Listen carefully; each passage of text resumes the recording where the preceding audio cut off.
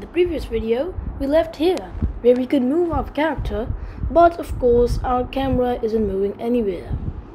And let's just get some FPS look ability.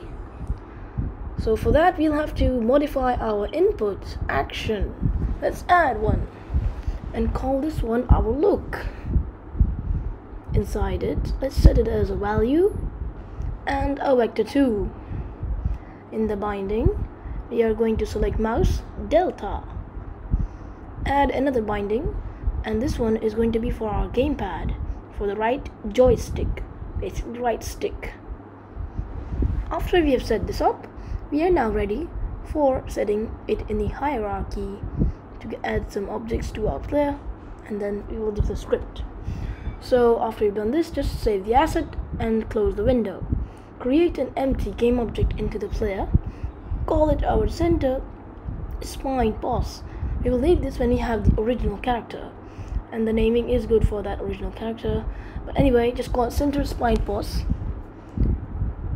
And we will have to actually put this on the y-axis of 1 so that's in the center the middle of the player. Next we'll create another empty inside this one and we will call this one our camera holder.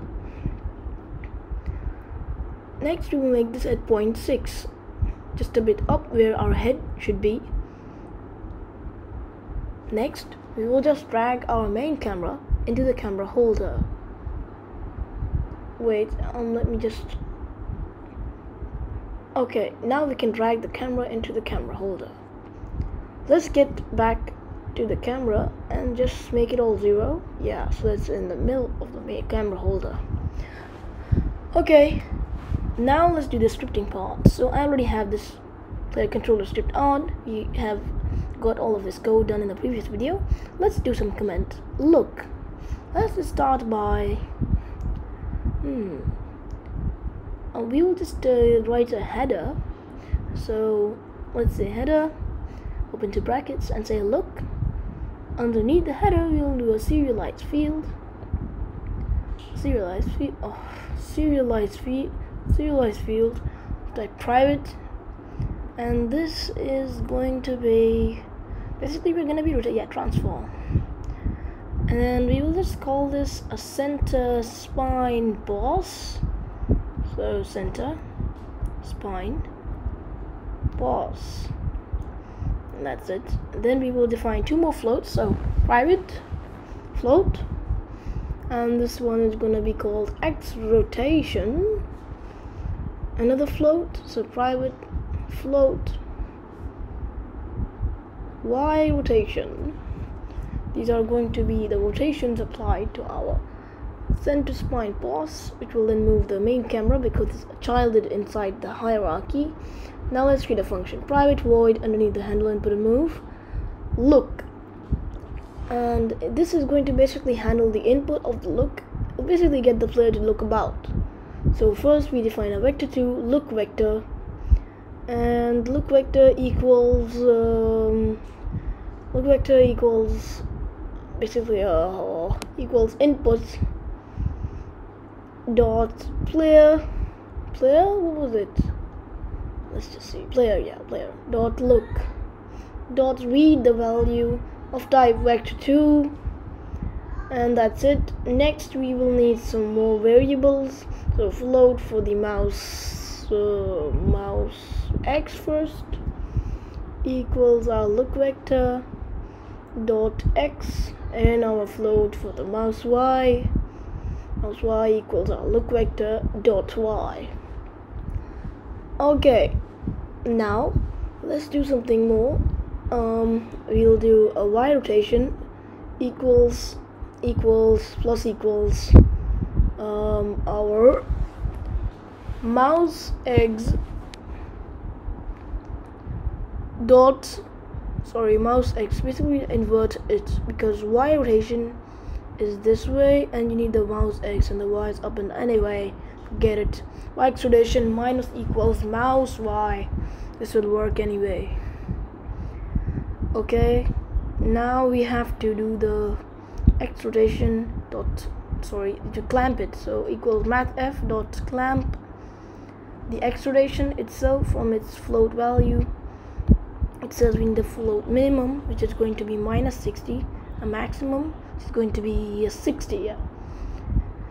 And that's it for the math of the clamp function. Next we will have to do some comments so we can get the input um uh, get the input get the look vector get the look vector and set it up. And set it up. Yeah so that's it set up yeah that's it. Okay another comment for uh, setting the values to the objects. Objects yeah. Transform dot rotation so we'll modify the transform rotation of this object. Equal to a quaternion dot euler. Basically we just don't want to modify the w value otherwise it will anyway. Dot euler and we were given zero for the x-axis because we don't need that. The y rotation is what we need. And zero on the z as well. That's it for the rotation of the transform. So basically we're going to modify the transform directly anyway. Center spine post rotation. So this rotation equals our quaternion the euler. And here we're going to write x rotation first because we're going to give it both comma y rotation as well comma 0 and that's it. Okay so we are done with the coding part except for just call this function in the update. Because if you don't you will get no result. Alright.